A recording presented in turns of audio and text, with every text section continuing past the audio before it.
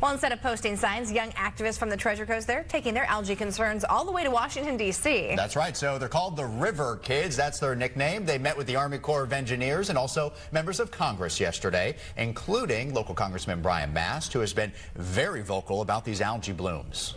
Well, many kids across the country right now are gearing up to go to camp this summer or spending their days on a boat or at a beach or fishing.